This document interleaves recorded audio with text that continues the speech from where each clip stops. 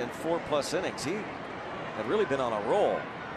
And Cervelli lifts one deep enough that will bring home Marte with the seventh run of the ball game. Sacrifice fly makes it 7-3.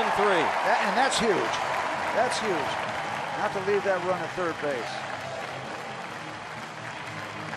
So maybe that last start for Nola was an aberration because he had struggled mightily, had the good outing, and now he's charged with six.